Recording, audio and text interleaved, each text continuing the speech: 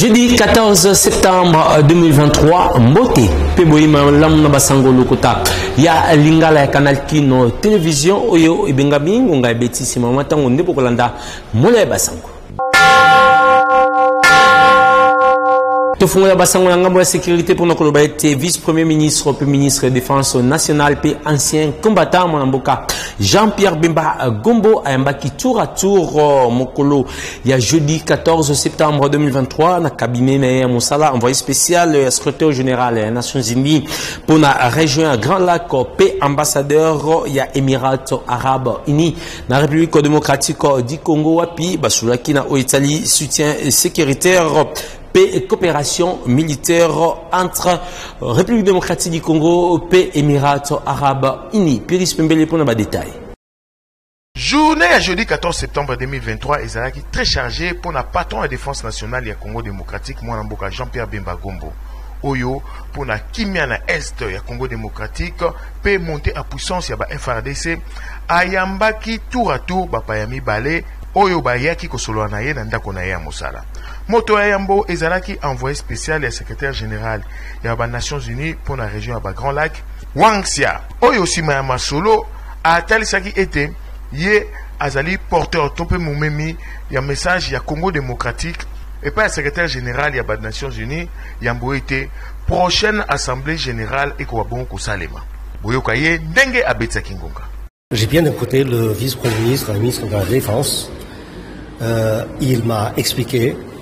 ce que la RDC euh, peut faire, est en train de faire, et aussi ce que la RDC attend des autres pays de la région, euh, des acteurs externes et aussi de la, du reste de la communauté internationale, comme le Conseil de sécurité, et aussi du côté du secrétaire général. Et donc je rendrai fidèlement compte au secrétaire général pour contribuer à une bonne préparation de tous ces entretiens que le euh, président Tshisekedi aurait à New York, en marge euh, euh, de, la, de, la, prochaine Assemblée générale. moto ya mibale ezalaki bongo ambassadeur ya ba émirats arabes unis na congo démocratique awa atman baroud al baroudi oyo ayaki kotikela vpm Jean-Pierre Bemba Gombo invitation ya moninga na ye ministre ya Emirats Arabes Unis ya Defense mpo ete akoka bongo koparticipe na 18e édition ya salon ya Dubai 2023 oyo ekosalema na novembre ezali koya. Boyoka ye ndenge abetisaki ngonga. Euh, je suis venu spécialement voir euh, son excellence, le premier ministre, ministre de la Défense, euh, lui faire parvenir une invitation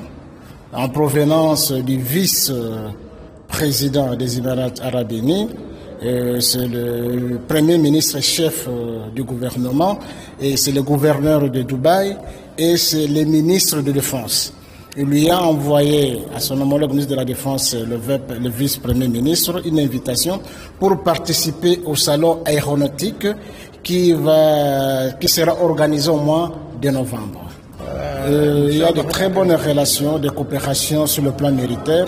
entre les Émirats arabes unis et le gouvernement congolais. Nous, venons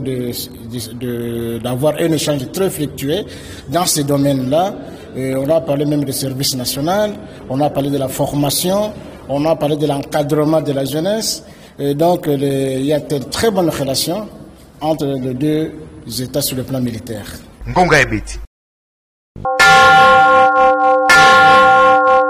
Jean-Marc Kabundo Akabundo, ancien secrétaire général ya UDPS, oyo azali bongo député national élu ya Moamba lisusu ancien premier vice-président ya assemblée nationale ya kala azalaki bongo euh, condamné mpona 7 ans euh, de servitude euh, pénale na arrêt ya cour ya cassation oyo etalisamaki mokolo ya mercredi 13 septembre 2023 mijalua mpo na badetail cour ya cassation euti bongo korendre arena yango mokolo ya mercredi 13 septembre 2023 na affaire oyo ezali koopose jean-marc kabunza kabundi député national mpe ancien premier vice-président ya assemblée nationale na ministère public Jean-Marc Kabunza Kabunz azwi 64 mois to mpe 7 ans ya servitude pénale principale kolandisama na bainfraction oyo ezalaki retenu contre ye tolobi kotambwisa basango ya lokuta baoutrage na bacorps constitue mpe lisusu offense na tata mokonzi Na ngambo na bango, ba avocats ya Jean-Marc Kabunza Kabund ba contester condamnation oyo makasi. Mpo na bango, ezali justice moko oyo ba bongisaki nionso dejà avant. Mpo na bango lisusu, decision oyo ezwami kolandisama na ba considerations politiques mpe partisanes. Ngonga ebeti! na basango ya politiki oyo esengeli bosimba ete mwana mboka fidel babala wandu secrétaire général ya mouvement de libération du congo mlc na mokuse ayambaki mwana mboka fredi kita mbukusu président national ya parti politique mouvement du peuple pour le progrès social oyo ayaki kosolola na ye na mai matali kimia mpe boyokani avant pendant et après baélection boyoka ye ndenge azali kobetisa ngonga toye awa mpo na kokutana na secrétaire général ya mlc oyo ezali mpe parmi ba regroupement politique ya mboka na biso toyebi biso banso ete kala mingi te tozali kokenda maponomi esenge na biso tozala na discours moko responsable ya bolingo ya boyokani ya bondeko maponomi ezali bitumba te Maponomi ezali eloko ya kowelela te me ezali ke ezali je moko nde tobaka na poto lopoto demokratike oyo ya kolonga alongi epuis avant maponomi vie ezali pendant maponomi vie ezali epuis après maponomi mpe vie mpe ezali yango toye kokutana na euh, secrétaire général fidèle babala ya mlc mpo na total ensemble lolenge kani tokoki kosala ete na bachaque groupement politique na bachaque parti politique discours moko ezala ya responsable ya malamu ya bolingo lisumu ya ba haine te ya kofingana te pendant campagne électorale mpe pendant élection epuis tosuika awa te lobi kuna tokotala baregroupement politique nyonso ezala ya gauche ezala ya centre ezala ya droite tokokutana na bato nyonso mpo na kosolola mpo ete ndenge mboka na biso ezali il faut kimia ezala boyokani ezala bomoko bondeko bolingo ekota na kati ya mitema na biso Depute national uli ya district ya funa florent lebe mopia asalaki remise ya bamateriel didactique na trois écoles ya commune ya bandalungwa na cadre ya kosoutenir vision ya chef de l'état Félix Antoine Tshisekedi Chilombo na oyo etali bongo gratuité de l'enseignement de base nyonso esalemaki mokolo ya jeudi 14 septembre 2023 mifika na mboma mpe sardi dimbu mpono bazalaki wana mpo na konte ya ngonga ebeti bolanda Trois ecoles ya commune ya Bandalunga nde ezalaki beneficiaire ya ba matériel didactique gratuit kouta epai ya député national élu ya district ya Funa honorable Florent Lebe Mupia mpo na ko accompagner vision ya chef de l'État Félix Antoine Tshisekedi Tshilombo na oyo etali gratuité ya enseignement de base yambo collège Saint Michel mpo na basusu makelele awa ayambami na ba dirigeant ya école bapesi ye maloba liboso ya bana mpe asali remise à titre symbolique na école secondaire mpe primaire balivre ya chimie 5e mpe 6e carton ya globe baeker bamaître kane barapporter baboule compteur mpe biloko mosusu kolonga awa direction ya institut technique mpe commercial bokolo awa mpe ndenge moko honorable ayambamaki kaka na bakambi ya ekole azwi maloba bisika nyonso alekaki azangi te korapele bango ete ye azalaki bourgmestre ya kala ya komini ya bandalungwa apesi bana bameme materiel oyo epesaki esengo makasi na baelève ya secondaire na kobeta ngonga mpo na kopesa matondi na chef de l'etat mpe honorable florent lebe mopiya boyoka nasengi merci na président mokonzi ya mboka ete l'honorable nyonso asaleli biso première attaque secondaire mpo na babienfe na ye c'est le matériel tout consort les livres merci beaucoup napesi merci mingi na honorable flora lembe mpo ayeli biso bamateriel oyo eh, na biso mpe na biso mpe bato bafuture ba enseignante bamateriel didactique oyo amemeli biso en tout cas merci mpo na florent lebe mpo na bamateriel merci pour son amour alakisi biso bana na ye mpo na bamateriel oyo en tout cas troisième école ya molobeli ya bana funa akitaki ezalaki bongo collège baoyo kaka na komina bandalunga ndenge tolobaki awa mpe lisusu bakambi ya ekole bayambi ye mpe bapesi maloba liboso ya bana en remettre kaka bamateriele oyo apesi na baekole mibale euti koleka kasi bisika nyonso honorable florent lebe mopi alekaki après remise azalaki kokota na babiro kosola na baprefet mpe badirecteur koyeba lolenge nini bazali kosala mosala mpe bakokoso oyo bazali kokutana na yango tala ntina abeti ngonga boye en guise ya contribution na nga mpo na enseignement na biso ekele malamu mpo na bonne éducation ya bana na biso c'est pour cela que naza kosala ndenge leta azali kosenga tosala en sorte biso banso ke enseignement eleka malamu surtout na gratuité ya mokonzi ya mboka prone nazali koapuye yango me koapuye yango na monoko te na lolenge oyo boye kozwaka bamateriele oyo ezali bloke quelque part balivre bafourniture scolaire koya kopesa na baekole mpo na enseignement eleka malamu ezali contribution na ngai en tant que eli ya funa ndenge boponaki ngai funa apesa mpe bino maboko na ndenge wana kaka mbongo te mbongo mbongo non ça c'est plus que l'argent pour l'avenir du pays baekole mingi baklasse mingi ezangi baban baban ezali te il faut leta atala lokola tozozonga rentrée eh, budgétaire eh, totala likambo wana il faut ministre enseignement a introduire yango makasi mpenza na besoin financier na ye mpo asalisa babana mpo na baklasse ya bana na biso baekole nyonso honorable florent lebe mopia l'homme fort et du terrain ya funa leki asigne balivre d'or oyo etikali elembo ya kotalisa boleki na ye ngonga ebeti mwana mboka sylvain bisala kadimanche président ya asbel abeso mpe cadre monene na kati ya lisanga politike Alliance des Forces Démocratiques du Congo AFDC na mokuse ya wuti lisusu ko moderniser complexe euh, sebeko na commune ya bumbu ya kotia bango langi to mpe couleur ya malonga na babatima na bango oyo ezwami bongo na kati ya ekole yango letupireso masiala azalaki wana mpo na konto yango babeti L'incarnation ya professeur Modeste Batul Kobo na district ya Funa, l'infatigable Sylvain Binsala Kadimashe, l'étoile royale ya Funa, président ya Asbel Abes mpe cadre monene na kati ya lisanga politique Alliance des Forces Démocratiques du Congo AFDC na mokuse toujours dans ses œuvres ya kobetonize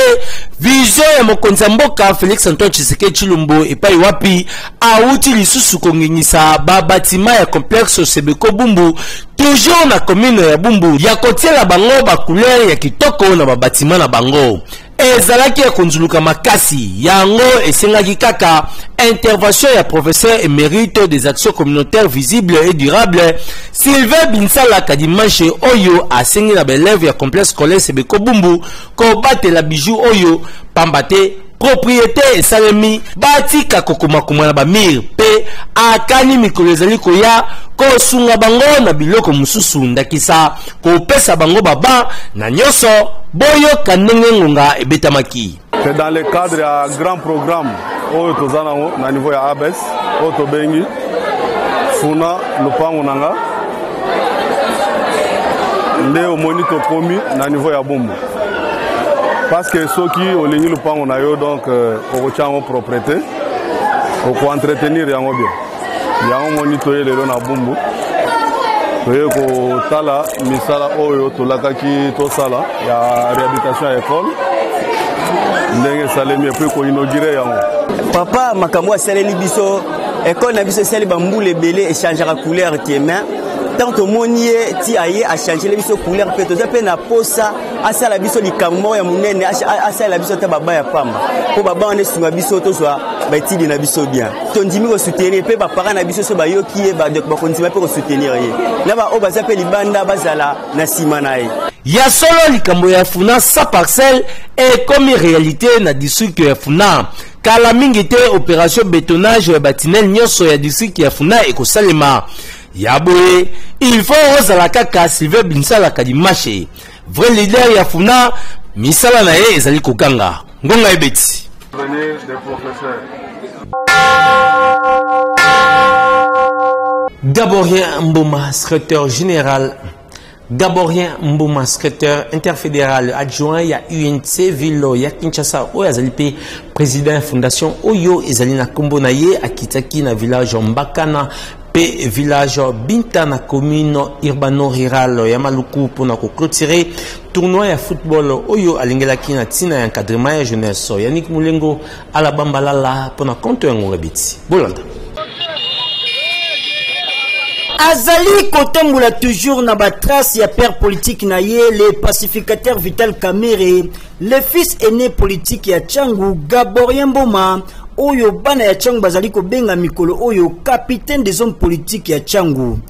nsima koorganize plusieurs tournois ya football na njili mpe kimbanseke mikolo euti koleka l'homme dynamique gaborien mboma aorganizaki lisusu tournoi ya football na terrain as mbakana oyo ezwami na village mbakana mpe terrain catholique ya village binta nyonso na commune urbano rurale ya maluku yambo mobange na carnaval esalemaki ba drapeau ya inc epepaki likolo ava atya makolo na ye na terrain gaborien mboma akutaki ndeko mobali moko ya kokufa uta mikolo ebele basundola ye na balabala moto ya kozwa charge na ye aza te kutu nzoto na ye ekomaki deja kobeba population eyebaki te nini esala na pasi na motema gaborien mboma azwaki charge ya kokunda ye dinyema kaka na miniti wana enterrement esalemaki na presence ya baautorité militaire mpe ya croix rouge ya maluku kolonga wana nde kandida na deputation nationale na district ya changu mpe deputation provinciale na komini ya kimbanseke l'homme de vulnérable gaboria mboma elongo na delegation na ye bakitaki na terrain awa match esukaki malamu objectif ezalaki kosangisa bana ya maluku kovivre lisanga mpo na kokima baantivalere mpe lisusu kodevelope batala ya bagene na suka apesaki na 4 premier bapere ya bavarese babalon mpe enveloppe gabor ya mboma asololaki na bango mpe na oyo etali baelektion wapi atalisaki bango ete bazali kosoutenir vision ya chef de l'etat félix antoine tshisekedi tshilombo oyo azali kandida ya inc na election présidentielle esengeli koyeba ete inc etie deja babateri nyonso en marche mpo na baélection ya décembre 2023 objectif ezali kobimisa 150 depute ndenge secrétaire général ya inc bili kambale abetaki sete kasi awa na tiangu avec l'homme de vulnérable gaborien mboma Bilembo ya recite ezali deja komonana. Ngonga ebeti. Ruto Bofuki mokambi ya ONG Action of Bofuki akitaki na quartier Paka Juma na commune ya Limete pona kokabola ba fourniture scolaire na mabota nyonso wana na cadre ya ko soutenir Vision chère euh, ya chef de l'État Félix Antoine euh, Tshisekedi Chilombo na Ouetali Bongo, gratuité et de l'enseignement. Bokonga. Na souci azalaka na yango ya ko soutenir euh, gratuité de l'enseignement vision chère ya mokonzi ya mboka Félix Antoine Tshisekedi Chilombo nde action offre bofuki ONG oyo ebundaka mpo na kosunga baike mpe ekambemaka na eclairage public rito bofuki mokambi ya fondation oyo akitaki ye moko elongo na ekipe na ye mobimba na komine ya limete mingi mpenza na quartier paka juma mpo na kokabola bakite scolaire awa kaka ndenge bozali komona bilili Eclairage public la mignonne Ruth Bofuki ayambamaki kitoko. Sima ya kosolola na mabota ya limete, Eclairage public Ruth Bofuki alekaki mbala moko na acte koloba bongo, akabolaki basak, bakaye, bastilo pe biloko mosusu oyo kosunga na mabota oyo nyonso bazongisa bana na bango kelasi kitoko. esengo eh, ezalaki na ndenge ya kosakana te boyoka ngonga mpo na susi ya mama andimi aya awawa mpo na biso nyonso mpe bavaler ya mama ayeba mpe valer ya bana mpaka ju je tiens également à remercier le chef de l'état son excellence monsieur antoine tshisekedi chilombo qui a mis en place la gratuité de l'enseignement tosangani na bandeko na biso ya paka juma enfin de rendre le fait possible enfin de, se, de distribuer les fournitures scolaires na bana classe voilà pourquoi tosangani awa je tiens aussi à remercier les parents qui sont venus présents bamotive biso mpo tocontinue lisusu kosala baaction na biso prochainement parce que tomoni bango baye na susi ya bana na bango bakende classe avenir alobi eza bana oyo toza na bango lelo bokanisi esili jamais Rito Bofuki la Mignonne azwi lisusu charge ya kofutela bana mosusu bakonto ya Minerval nyonso wana ya koluka kopesa sourire na mabota. Na susi azalaka na yango ya kosunga mabota, kasi asukaki wana te pamba te misala na ye na komino ya Limete ezali koganga se koganga. Ye nani? Eclairage public Richt Bofuki oyo wapi akendeki kokonsole libota ya mama Rosa oyo babungisaki moko na bango. Awa enveloppe moko consistante epesamaki na ntina kosoutenir bango ndenge bazali kolekisa ngonga oyo ya matanga longonya na yo eclairage public la mignonne rite bofuki La commune de Limete est fière de vous. Société à présent, avenue des Huileries, Ngambo na Ngambo na commune ya Lingwala mpe Kinshasa mingi mpenza na balabala Itaga mai ezali ya kotonda na ndenge ya kosakana te, ekomi kokoze bambuteyage, population ezali kolela kutu mituka mpo eleka wana ekomi kosala kokoso wapi mbulamatari ya ville province ya kinshasa bazali komona kasi bazali kobeta yango kara boyoka uh, reportage signe li maleka mpe judex makengo tozwami na avenue des huileries na ngambo na ngambo na commune ya lingwala mpe kinshasa esika wapi inondation esalemi na makadame kobanda itaga kino na kanivo monene oyo ezwama na kalfungola Ezali kokamwisa bato mingi, mbula ebeti te kasi ebale esalemi oyo mituka na ba aire de pointe ba chauffeur bazali kozanga mayele mpo mama na mbuteyage ezali kosalema na esika wana moyen ezali te situation oyo ezali ya lelo te pene ya poso mibale mobimba mai etondi awa na nzela nzokande avenue des huileries oyo bakonzi ya mboka balekaka mituka kowuta mpe kokende na centre ville elekaka ntango nyonso na nzela oyo kasi mpo na nini ezali koumela boye mpo na kobongisa yango reseau ya inondation ezali na baversion ebele selon bavandi ya nzinganzinga balobi cause ezali curage ezali kosalema te na caniveau monene oyo ebanda na kalfungola kino kokende na komini ya gombe kati ya 24 novembre ya na komini ya gombe yango nde ebusha mpe etonda biloko ya bosoto ya ndenge na ndenge na kati moyen mai eleka ezali te retour na yango se na kati ya balabala nyonso oyo ezali kopesa mpasi mawa mpe soni mpo na bolingo ya mboka mbulamatari esengeli mpenza kotala situation oyo na lombango avaki bambula ebanda kobeta nyonso mpo na kosunga baimboka baleka na balabala na esika oyo malamu ata bino moko mpe ngonga ebeti awa toza na aveni lumière esala kobenga quartier de bono problème eza eza mibale virage na continuité ya kotonga caniveau na debono batonga bacollecteur mibale moko na deuxième rue moko na 5e rue oyo ya 2e rue ekenda ntina mai ya nse me ya 5e rue eza limite na quelque part etikala 400 mètre mpo na basilisa yango mais esuka te kasi kote chinoise etonga me esila te me yango wana ezokoze baproblème awa nde bozomona awa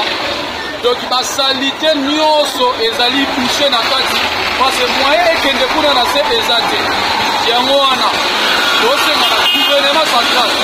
chaque mois gouvernement central abimisaka budget moko na senisema tosenga na gouvernement provincial obie national En tout cas, a aidé biso en attendant boule ebeta sino te ezala somo bino mo bomoni mbula nani ebeti te bandako ezodinda basalite ekangami makasi soki bato aovede bakoya kosala kirage ekezala malamu mpe bakontinue lisusu kotongaka nivo ekende ntina mai ya chine etikala kaka 400 mètres en tout cas tozosenga na bakonzi ya mboka ministre ya idp ovd boya koporte secours na debono sino soki tout le beti ekezala mabe makasi na debono wana ekokoma oboya kokunda oboya kosala boyeboyeboye moma yango oyo mbula nani ebeti te bino moko bozomona makambo ndenge ezoleka awa nde nazwi ndenge esalaka bwana bino soki bosepelaki bopesa merci na patrik lusala bazalaki bongo nsima ya kamera mpe alabambalala asimaki bongo montage bongo édition ezalaki bongo signe piris oh, pembele kasi yambo ete tokabwana na tiki ebunga na page promotionnelle ya ngonga ebeti bolanda